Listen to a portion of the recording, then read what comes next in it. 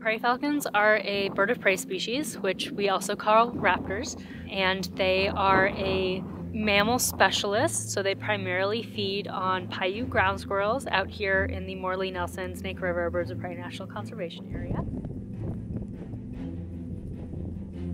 In terms of their ecological role, they are one of the only falcon species that specializes in eating mammals. So most falcon species are either more diverse than that and are not specialists or primarily feed on bird species. So prairie falcons are unique in that they are catching small mammals. Additionally, uh, follow the ground squirrels throughout the year. So once they are done breeding, it actually gets too hot for ground squirrels to continue to be outside. The ground squirrels go into hibernation, and at that point, the prairie falcons move on to areas that are cooler in temperature where the ground squirrels haven't gone underground yet.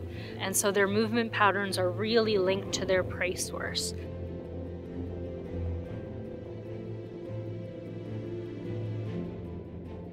So we're currently trying to determine whether or not, because prairie falcons are so closely linked with the Paiute ground squirrels that they feed on, whether or not declines in the Paiute ground squirrel populations also mean potentially declines in prairie falcons. We honestly don't know the answer yet. And so one of the things that we're hoping to find out is whether or not prairie falcons are able to what's called prey shift, so whether or not they would be able to find alternative food sources that are sustainable and good enough in quality to produce offspring and young in the same capacities as would be if they were feeding on ground squirrels. The issue with potentially prey switching is twofold. One is that the prey that they potentially try to target instead of ground squirrels may not have as high nutritional value. So ground squirrels, we like to call them little cheeseburgers. They're basically like these really densely fat small mammals.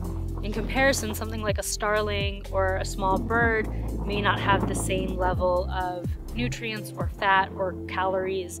And so while they think that they're capturing a prey item of the same size, it might not actually be giving them the same level of nutrition. We do deploy nesting cameras, so we put out cameras on the nest once it is safe to do so with the parents and the fledglings, and then that can monitor prey deliveries that are being brought to the nest, as well as nesting survival and success. For prairie falcons specifically, we have a number of tracking techniques.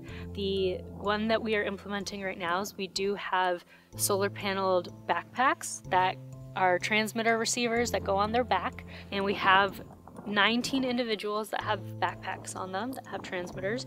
They collect GPS points of their movement, and then that GPS points gets uploaded through cell phone towers and satellite transmitters. And so we can pull up all of their tracks. There are tracks collected once every hour outside of the breeding season, and then there are tracks collected every five seconds, three days a week during the breeding season. So we can get really fine scale resolution data on exactly where they're moving, exactly where they're foraging, exactly where they're nesting based on these transmitters.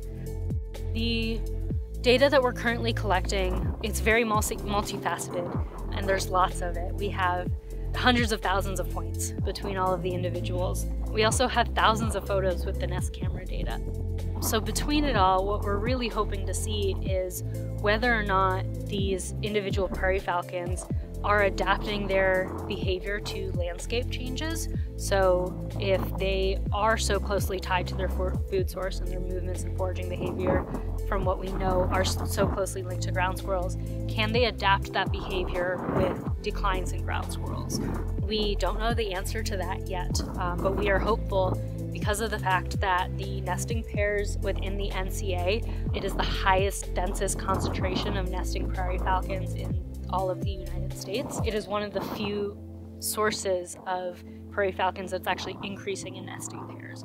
Anecdotally, this is not published data yet, but anecdotally, nesting pairs elsewhere and individual prairie falcons have been declining. So even if there's a decline in ground squirrels here in the NCA, if we're still seeing a booming prairie falcon population, that says that potentially they're able to adapt to climate change shifts, to anthropogenic influences, to prey shifts um, in ways that we didn't necessarily think before, which would be really exciting.